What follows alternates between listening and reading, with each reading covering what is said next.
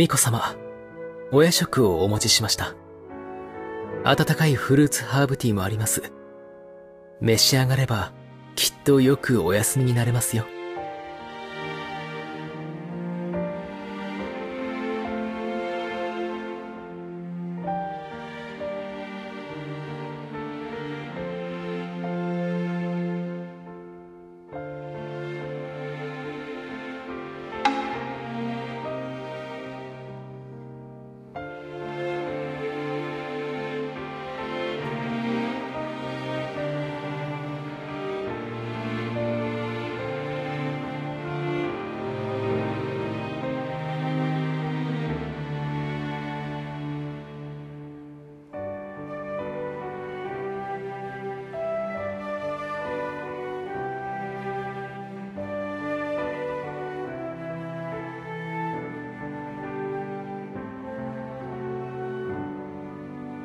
申し訳ございません、巫女様。私がいただいた時は、そのようなことはなかったのですが。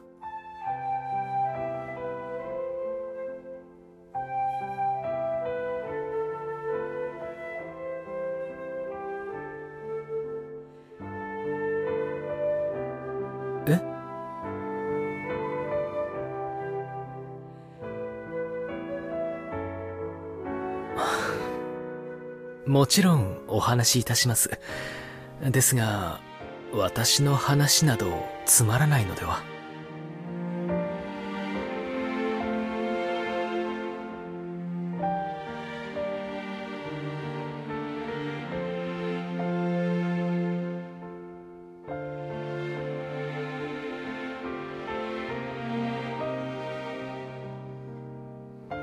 承知いたしました。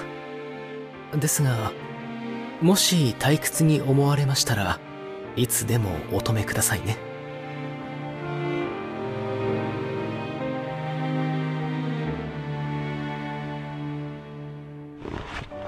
私は小さい頃シリンやザックと共にスラムで暮らしていました。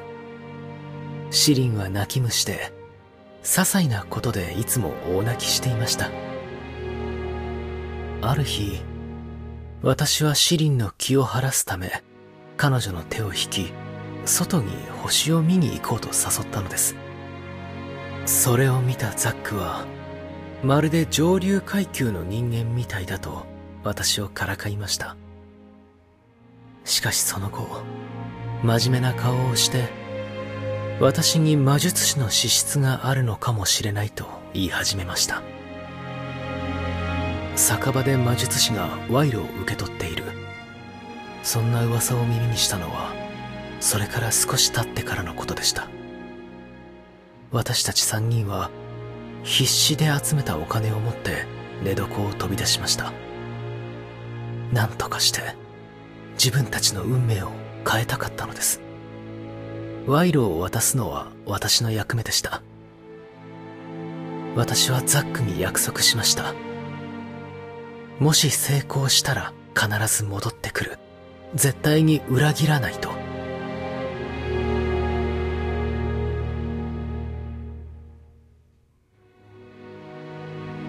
ええ。酒場を訪れた私は、一人の魔術師と出会いました。豪華な上着をまとった彼は、私の話を聞いて酒を一気に飲み干すと、こちらを見下して大声で笑いました。そして私は彼に殴り倒され持っていた金も全て奪われたのです。才能お前にか。彼はそう言いました。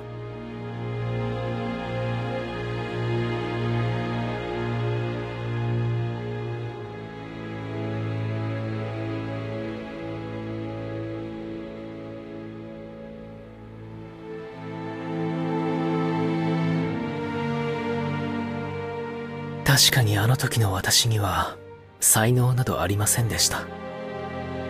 魔術師は傲慢でしたがその見立ては正しかったと思います。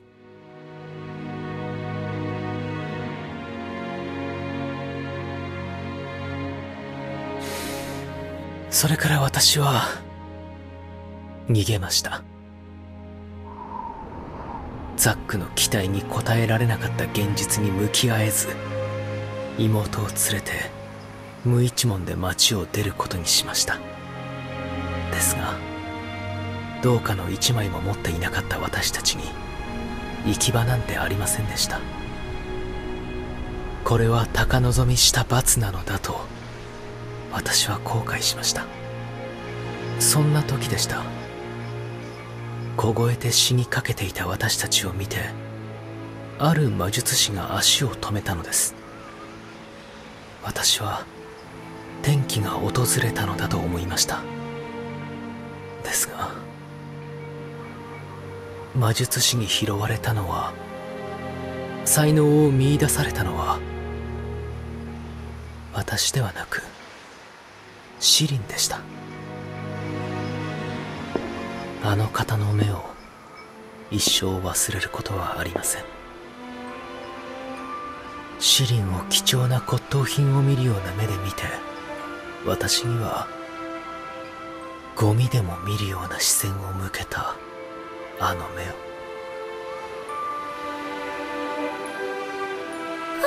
私は必死に追いかけました。同時に妹を連れて行こうとするその人物が自分にとってはるか雲の上の存在であることを悟りましたその方は私がそれまでに見たどの魔術師よりも豪奢な衣装をまとっていたのです。その方は高級の首席魔術師で魔法塔の主でした。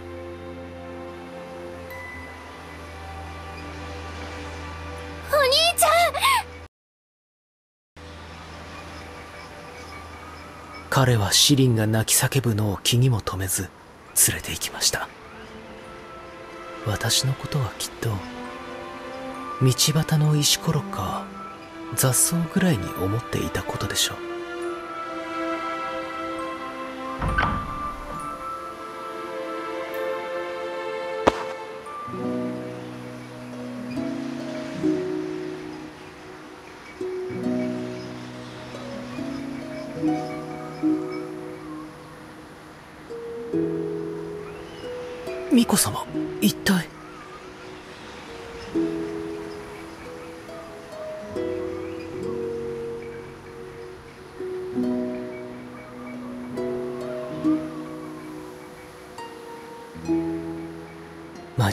才能とは願いなのです。強い願いを持っていれば魔術師になる見込みがあります。当時の私はそんな願いを心に宿していませんでした。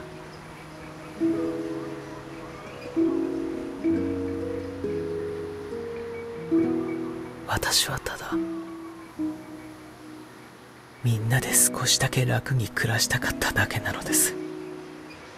ですが身の程知らずだったせいで私だけでなく妹までも破滅への道へと追いやってしまいました。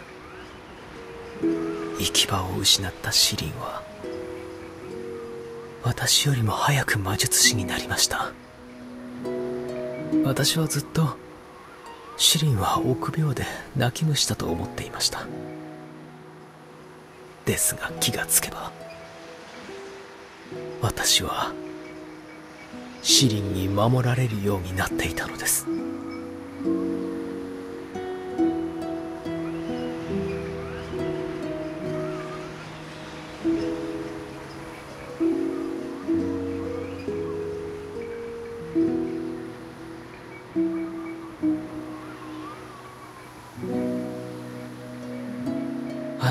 いた世界が本当に羨ましい。あなたが暮らしていた場所はきっと情け深く優しいところなのでしょう。そうでなければそのような言葉は紡げません。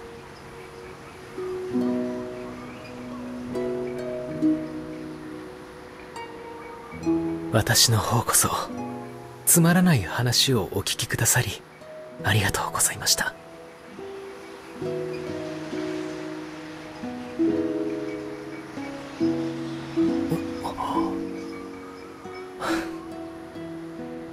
やはり退屈でいらしたのでは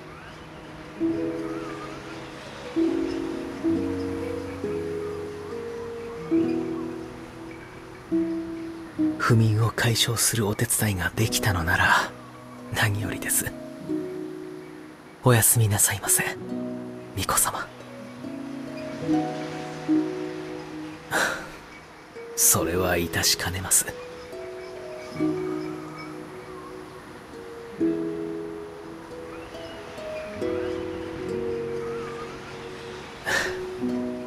承知いたしました。おやすみなさい。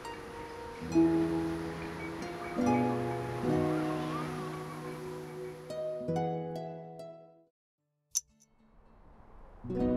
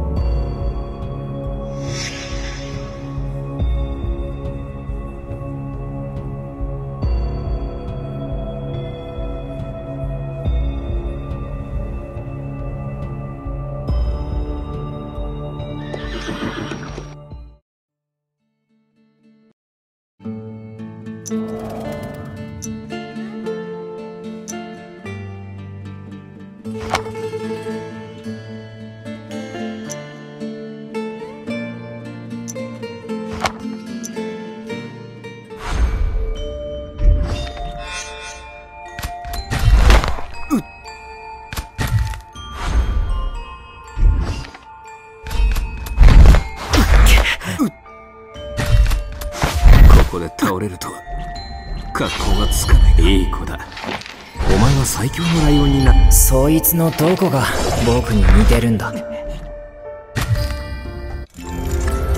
思ったよりも強いようだな。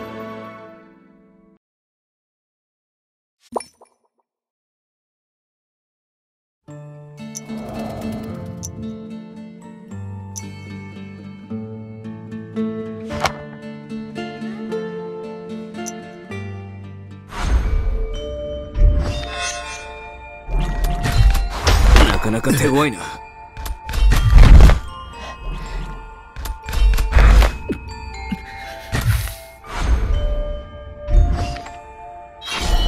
チェックメイト。そいつのどこが僕に似てるん？だお前というこの世で一輪しかないバラに乾杯しよお前と一緒に戦うのも悪くないな。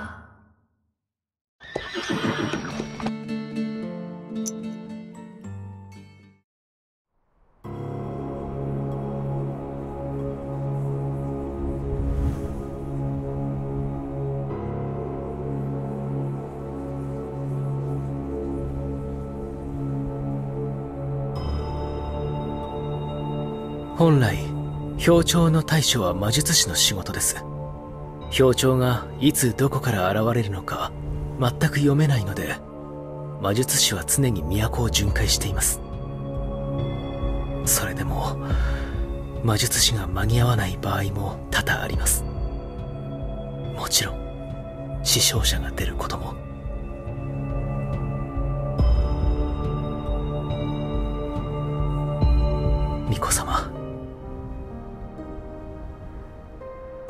彼らを救ってくれて。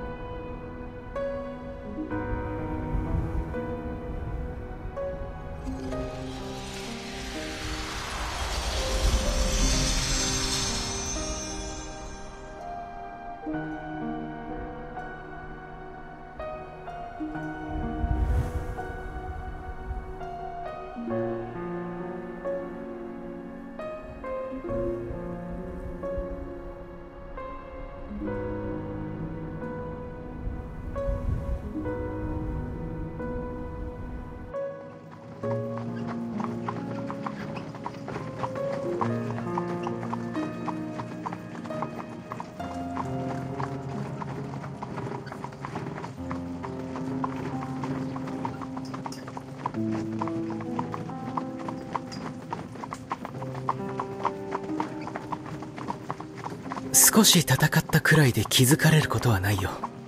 ただ君の体から表調の気配を感じたから念のためさ。君が戦えることを他の者に知られてはいけないよ。特にシーラン様には。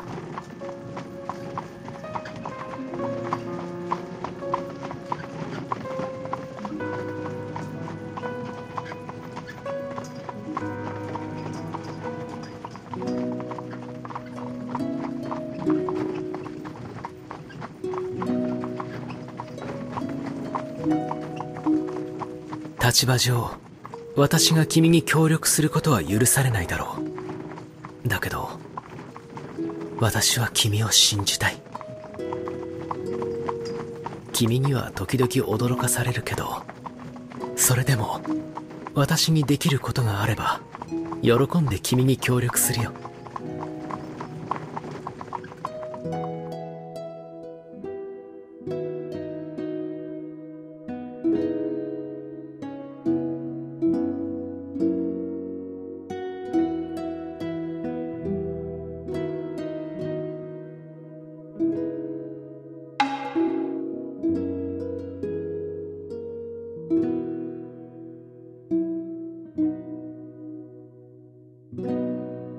してそんな風に思うんだい？もしそんな日が来たら、私は君の好きなものをお腹いっぱいになるまで持ってくるだろうね。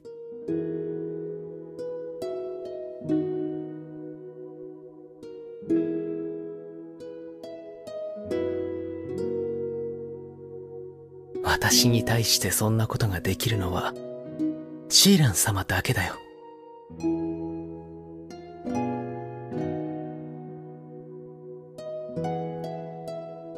これから星を見に行かないか。眠れないんだろ？気分転換に。どうだい？言う通りにして今日君が都の路地を歩いているところを同僚に見られた。シーラン様はきっと君を問い詰めるだろう。だから夜の夢で昼間の真実をごまかさなくてはならない。それに、私も君に美しい夢を送りたい。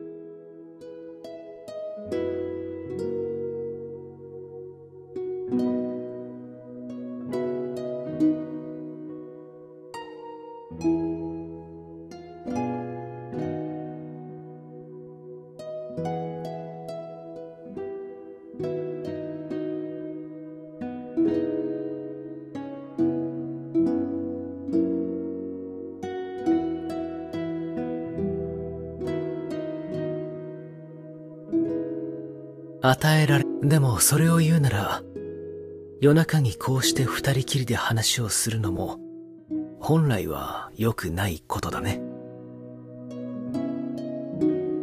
与えられた任務は、そうだね。もう、手遅れだよ。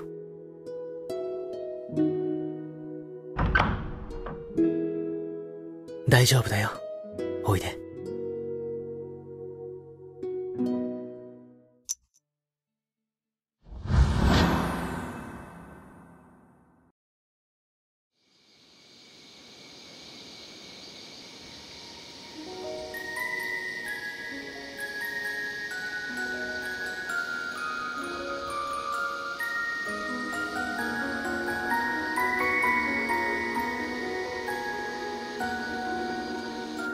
ここは高級で一番高い場所だよ。そして夜空、天井の星に一番近い場所だ。だけど実は、もっと高いところまで登れるんだ。行ってみたい？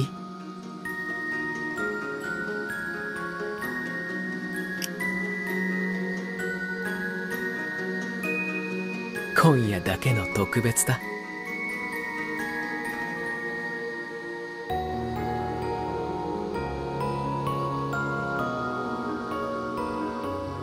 いいかい?瞬きをしてはいけないよ。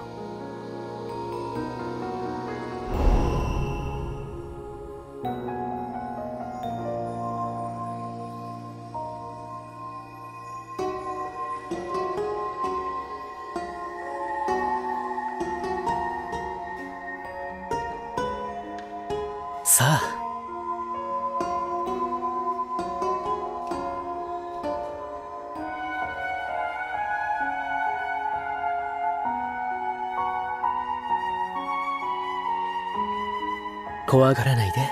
ついておいで。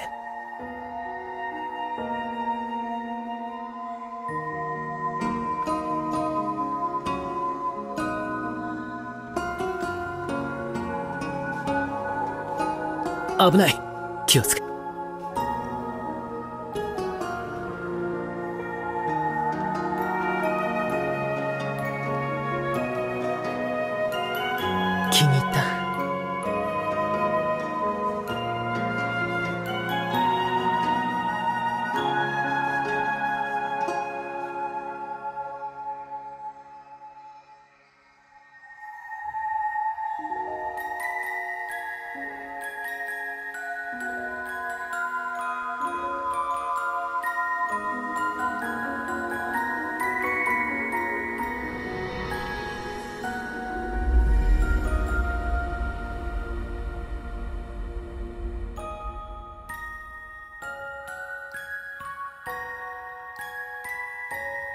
送るのはここまでにするよ。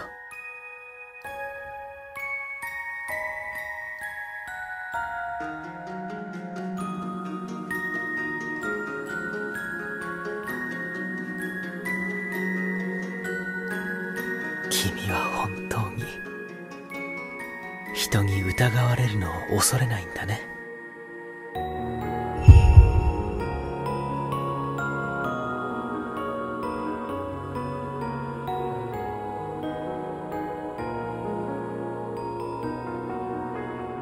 誰かに今夜のことを聞かれたらありのままに答えるんだよ。